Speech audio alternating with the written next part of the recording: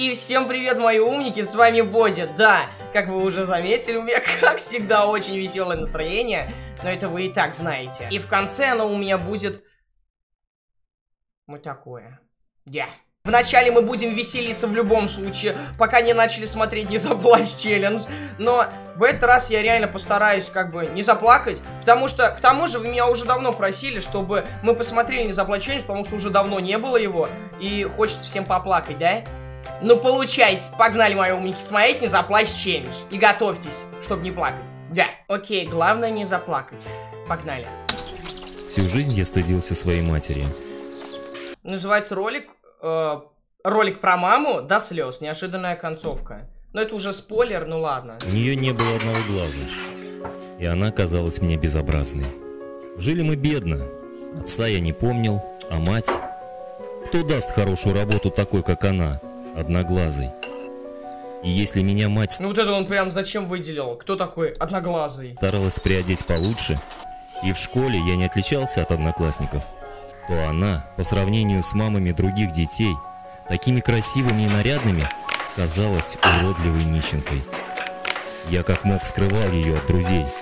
Но... Зачем? Зачем он это делал? Почему? Ну подумаешь, ну да, жалко, что у мамы глаза нет, но от этого она не, на... не становится настолько уродливой. Что за бред он несет? Меня прям взбесило про маму такое говорить. Однажды она взяла, да и пришла в школу. Господи, он, он прям как, знаете, как лицемерный говорит. Соскучилась, видите ли, и подошла ко мне при всех.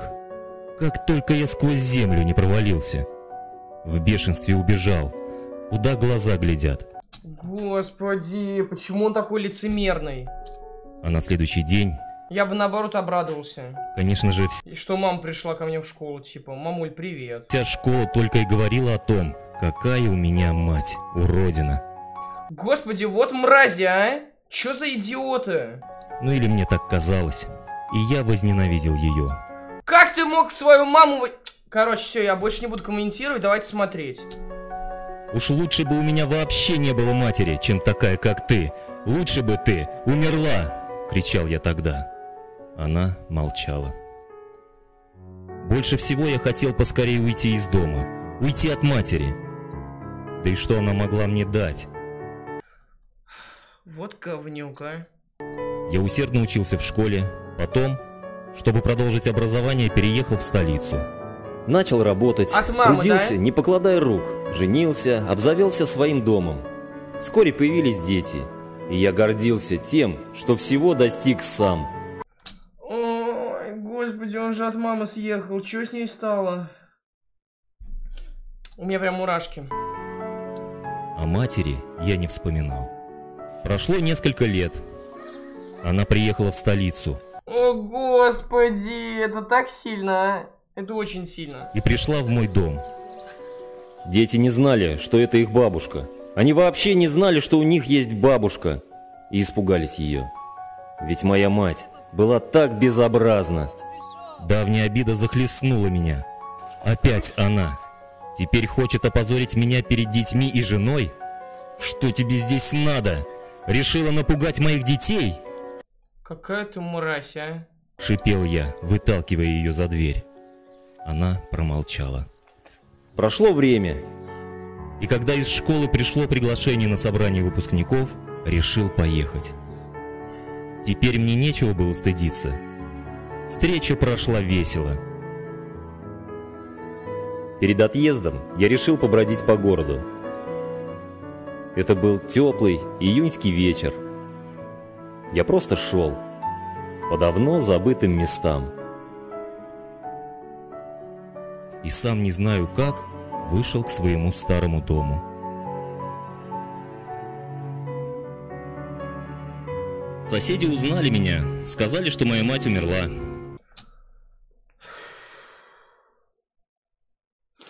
Конченый.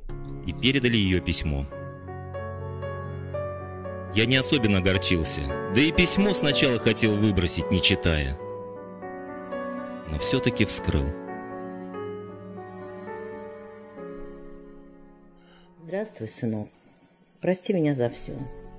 За то, что не смогла обеспечить тебе счастливое детство. За то, что тебе приходилось стыдиться меня. За то, что без разрешения приехала в твой дом. У тебя красивые дети. Я вовсе не хотел их пугать. Они так похожи на тебя. Береги их. Ты, конечно, не помнишь этого, но когда ты был совсем маленьким, с тобой случилось несчастье, и ты потерял глаз. Я дала тебе свой. Я больше ничем не могла тебе помочь. Ты всего добился сам. А я просто любила тебя, радовалась твоим успехам и гордилась тобой. И была счастлива. Твоя мама.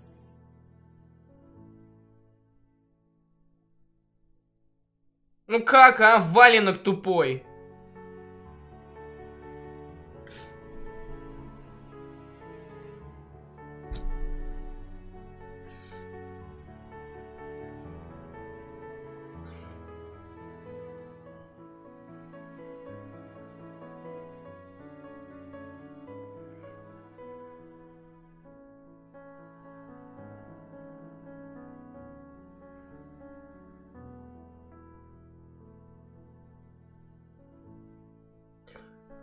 Знаете, нужно всегда беречь маму. Хоть это и не по правде,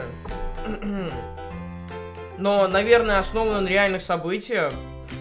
Но один хрен я проиграл, как всегда. Давайте спецэффекты. Вообще, если говорить серьезно, то да, я как это уже и ранее говорил, нужно всегда беречь свою мать. Потому что она вас родила, она всегда с вами. Это родной человек. Запомните, нет ни единого друга, кто мог бы вам помочь в трудную минуту, как мама. Да, есть лучшие друзья, но когда у вас не будет ничего, мама всегда вам отдаст последний кусок. Абсолютно, вот просто в любой ситуации. Что угодно произошло бы, всегда мама вам поможет и папа. То есть вы должны это понимать, поэтому всегда нужно беречь свою маму, как я это ранее говорил. И, мои умники, я надеюсь то, что вы поняли, это как бы видео гласит истину, то есть, господи, я прям как цитату сказал. Ну, так оно и есть, то, что правда здесь истина. То есть, все правда, все по делу. То есть, э, здесь показывают, какие бывают дети. Они ненавидят свою маму. Так, как можно свою маму ненавидеть? Ну, что это за идиотизм? Это просто лицемерный ублюдок. Вот я, я увидел ублюдка просто. Это мразь. Я не знаю, как его еще назвать. Господи, я в жизни такие слова не говорю. Ублюдок. Я впервые такое сказал. Но вы должны понимать то, что такие слова не просто так я говорю, потому что так оно и есть. Это плохой человек. И мои умники, то что... Я надеюсь, то что вы понимаете суть видео, и не нужно так делать, как вот он. И все у вас как бы будет хорошо с мамой. Поэтому, мои умники, если вам понравилось видео, и... Ну, надеюсь, то, что вы не заплакали, а сдержались, а я как идиот заплакал, как обычно. Но я не могу не заплакать, потому что ну, здесь вообще пипец. То, если хотите, то можете поставить лайк, подписаться на канал. Но это ваше дело, я никогда никого не оставляю. Есть ссылка на Инстаграм, ВК и остальные соцсети в описании. Так что это ваше дело, сходить подпишитесь. И всем огромное спасибо за просмотр. Всем пока.